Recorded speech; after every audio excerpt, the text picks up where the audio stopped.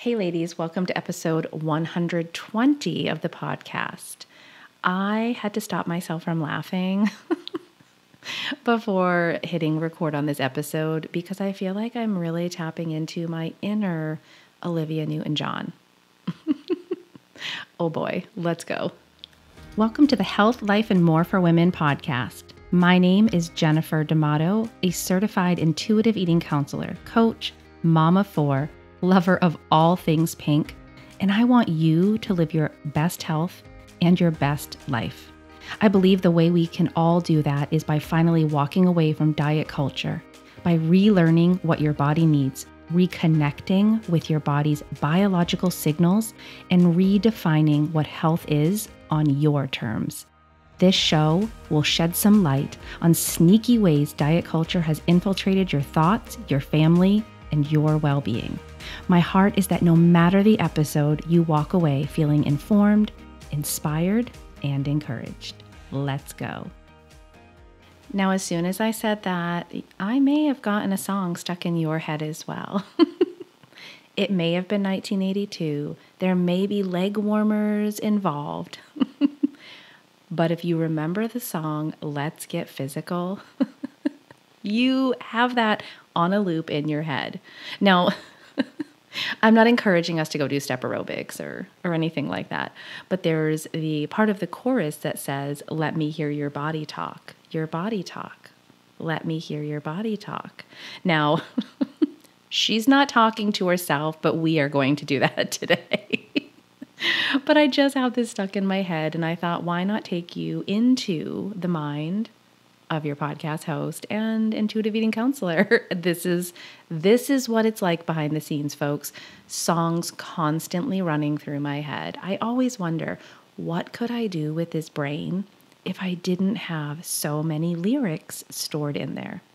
That's for another podcast on another day. Let's get back on topic. So even though it's happening throughout the day, every day, we might not hear what our body is saying. Or we might hear what our body is saying to us and completely ignore it. Think about this in kind of a, a, general sense. Do you do this if you have muscle or joint pain? Do you kind of ignore it and move on with your day? Do you pay attention to it? Do you give attention to it? How about your energy level? Do you kind of notice it? Does your body tell you certain things? Do you ignore it, keep pressing on, grab another cup of coffee? I mean, the truth is, we can hear what our body's saying and then make a choice. Do we respond? Do we ignore? Do we move on? Do we try to pretend it's not there? So, something that I'm a really big fan of, something I like to practice and that I teach is body scanning. This is literally going head to toe and checking in with myself. It's a way for me to figure out okay, what is my body saying right now? When I do this, I can better assess what I need. And over time, in this type of practice, you build body trust. The reality is, in the busyness of work and kids and schedules, you know, we can kind of I'll like tune out what our body's saying and and go into this mode of getting things done. And I'm not saying that we need to not be doing that. I am a very productive person. I I could sit hours. I mean hours on hours at my desk, go from client call to client call, get into some other work, record a podcast, write up a Instagram post and do all of that and then time will just go by. And if I don't have this tool, this strategy, I really will lose touch with what's going on. I can end up not eating. I could end up with neck, back pain. I can end up utterly exhausted. So I like to do this kind of check in. Now, I'll tell you, it, it can look different for everyone, but what I teach is going from head to toe, starting at your head, which is your thoughts and really just kind of checking in with what I'm thinking. Next, I move down to my heart. And that's where I check in with my emotional state. And then this is often times where I can identify an emotion or just checking to see that I'm okay still, that I'm, I'm doing okay. And here's the next part. this is the part where I know a lot of my clients are like, and I've been ignoring it. I go into my my midsection, my digestive system and ask myself, how you doing down there? and there have been times, especially in the past, where it's like, I'm not okay. You've been ignoring me for four hours. I'm not okay. And once I give some attention to it, it might tell me I need something. I found over the years of practicing this with my clients that they're fine checking in with their thoughts. They're fine checking in with their heart. They're fine checking in with below the digestive system. You know, we kind of go into those the legs, which is our do I need to get up and stretch and move? You know, how's my my body feeling? We kind of look at an overall, how's the body feeling?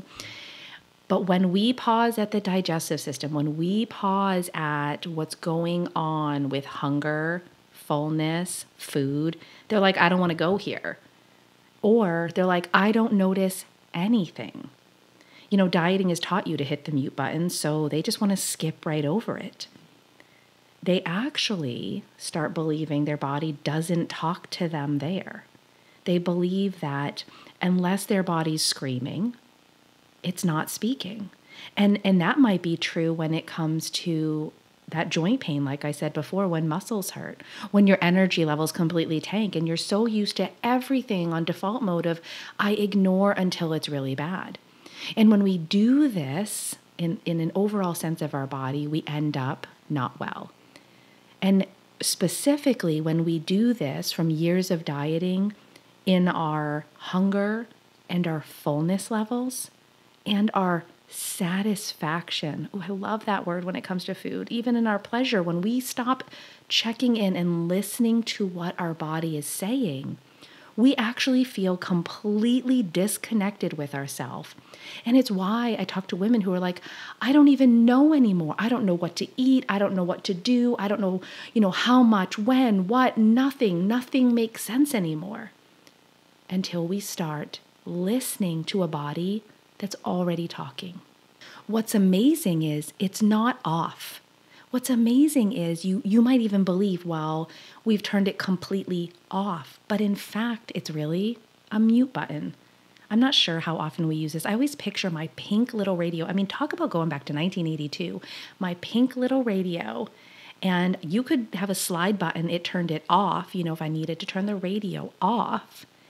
But there was a mute button and I had just had it playing in the background. I couldn't hear it. It wasn't, you know, disrupting anything, you know, playing the music when someone was talking to me, but I could turn it right back on.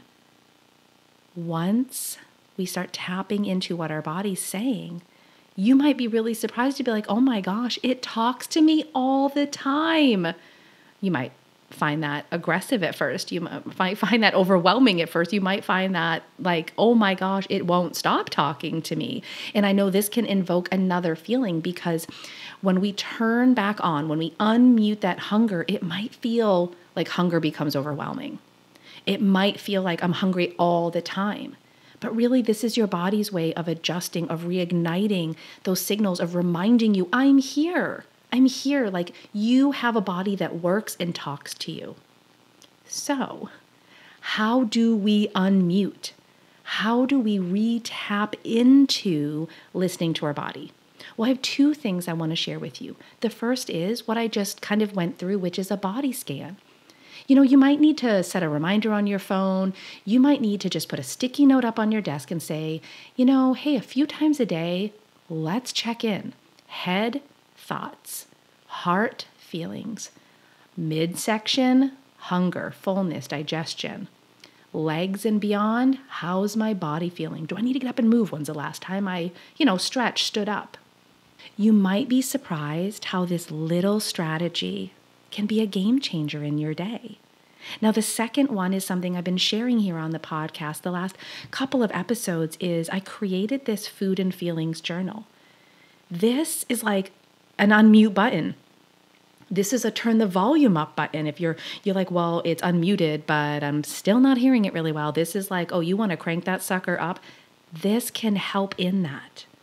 This could be your body scan. When I'm checking in, you might like putting a number on your hunger and fullness. Or when you're doing a body scan, oh, this is my favorite, is noting like, does this area feel pleasant or does it feel unpleasant? Those words might feel good. And it could be neutral, it's always an option. Like, I'm not noticing either, but I love using that. You might even put these all together to just note in that other column what the scan showed up for you. Maybe each time you're noting on there, you use that just to kind of check in with yourself.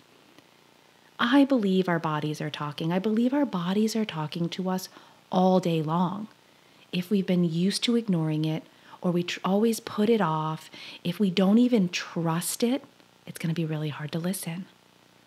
So let's invite some practices into our day, quick, easy strategies that can help us hear our body, hear what it has to say, and build that trust.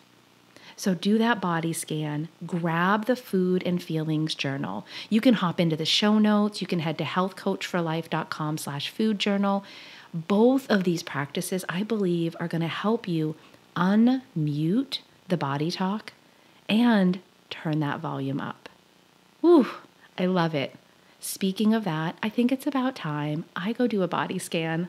I just love this practice. If you love it as well, I'd love you just to hop on Instagram. Come find me at Jennifer underscore health coach for life. Send me a DM and let me know how this spoke to you. All right, ladies, until next week.